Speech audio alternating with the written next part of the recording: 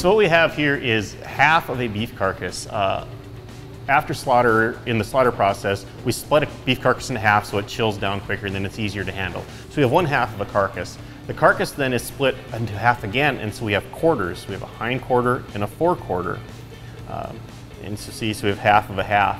So I'm gonna start at the top of the carcass would actually be the back of the animal. So up the, the top, that would be the, the back leg of the animal, and the very top of that would be called the shank, or the hind shank. Uh, the large uh, piece of the carcass just underneath that is called the round. And from the round, we get a lot of roasts or uh, round steaks and things like that. Um, this part right here then is the start, or from here to here is called the loin. Um, and the loin actually has two parts. This is the sirloin, where we get our sirloin steaks, and then this is the short loin. And we can do one of two things with this. We can get strip steaks like New York strip or Kansas City strip steaks, or we can get T-bones and porterhouse steaks. Uh, and the way we get uh, those two cuts is the tenderloin is hidden under here. Underneath, this is the, the internal fat. So the, the tenderloin starts up here and it runs all the way down and gets smaller as it comes forward. Um, we can pull that tenderloin out and get filet mignon, or we can leave it in and then cut T-bones and porterhouses. So you can't get both uh, tenderloins or filet mignons and T-bones out of the same side of a beef. Uh, you have to choose one or the other.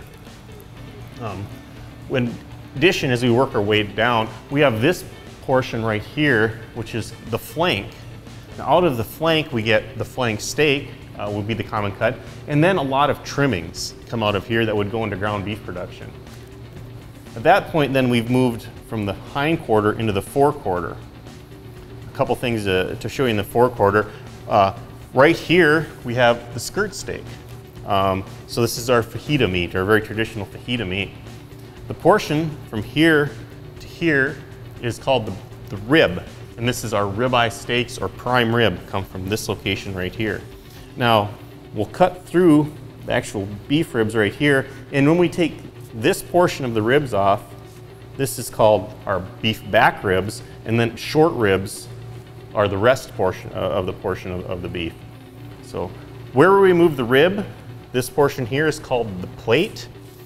The plate is almost exclusively used for trimmings uh, and ends up in ground beef or, or other uh, uh, processes, uh, processed beef products.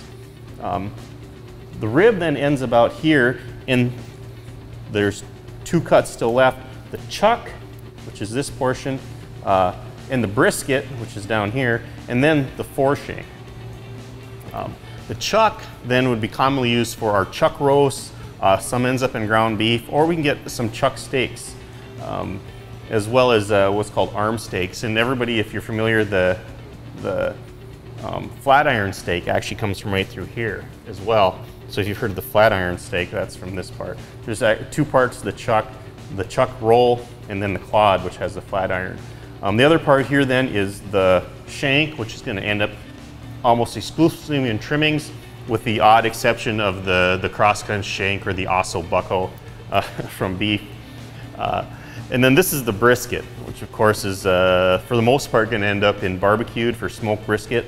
Uh, as well. And then the last part is, is the neck portion, which uh, is going to be taken apart and the lean is going to be used for, for ground beef or lean trimmings.